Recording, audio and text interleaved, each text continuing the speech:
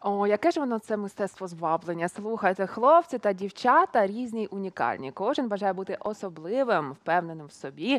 Когось природа наділяє цими якостями з дитинства, а хтось іде на спеціальні курси, курси пікаперів.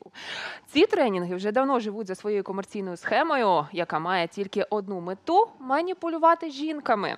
Детальніше про це далі у нашому сюжеті.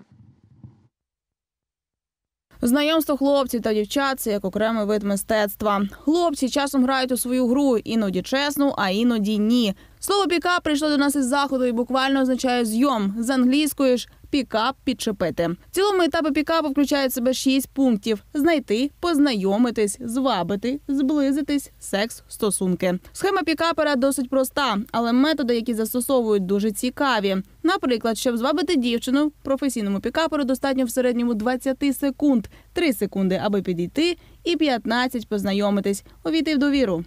Мы получили теорию, показали, как это делать. Вышли мы вместе с этим, С наставниками. Вот, они нам, нас пинали. да, вот, подходи туда, общайся. То есть, как учили. Ну, и понятно, в первые разы это все очень страшно. То есть, типа, никогда этого не делал. Там, вроде бы до этого ты с женщинами общался, но, как показывает практика, среднестатистический мужчина не может сходу себе позволить вот так под- подойти. И это был сильный опыт.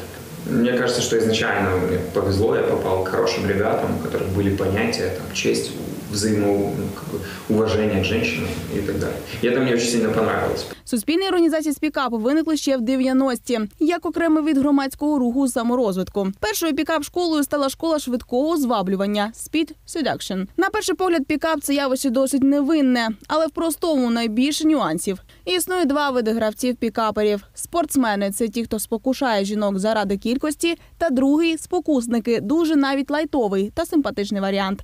Йдеться зараз про тих, хто використовує пікап для пошуку однієї єдиної дівчини, аби будувати з неї міцні і тривалі відносини. Вирізнити пікапера у побутовому житті досить важко, але можливо, якщо мислити критично, запевняють фахівці. Они все это делают очень скрытно для того, чтобы получить то, что они хотят, и девушка не заподозрила.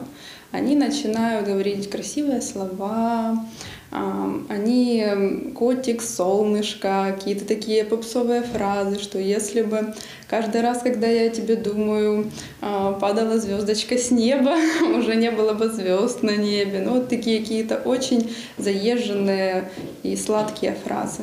Головною причиною, чому хлопці-чоловіки займаються пікапом, це внутрішній психологічний бар'єр. Это неуверенность в себе, это неумение выстроить отношения. Скорее всего, у такого мужчины было мало внимания матери, и когда он вырос, таким образом он пытается доказать, что я могу получить внимание девушек в любом количестве. У пікапі, як і у флірті, є так звані стадії брехні.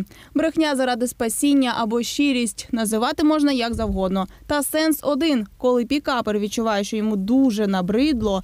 Він зупиняє гру. Головне правило екологічність, аби про розлучені залишитись друзями. Дівчина, яка впевнена, любить себе і розуміє, людей ніколи не попадеться на крючок до таких гравців. До речі, нерідко пікаперами бувають і дівчата. Ми поцікавились думкою українців, як вони ставляться до пікаперів. Відповіді були досить цікавими. Да каждый человек имеет право выбрать свой путь. Я никак не отношусь к людям, которые мне не интересны. Занимаюсь собой, детьми, работой, домом. как говорится, как они теперь выражаются, молодежь, троллят, так сказать. Понятное дело, что люди боятся, особенно молодежь, которая абсолютно безграмотна. Вони пропонують не те, що треба. Ну тому що, мабуть, самі не можуть якось знайти себе.